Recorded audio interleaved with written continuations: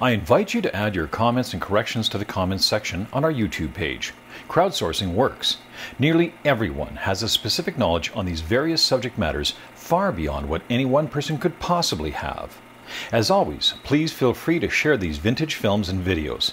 For licensing requirements, please contact me by email.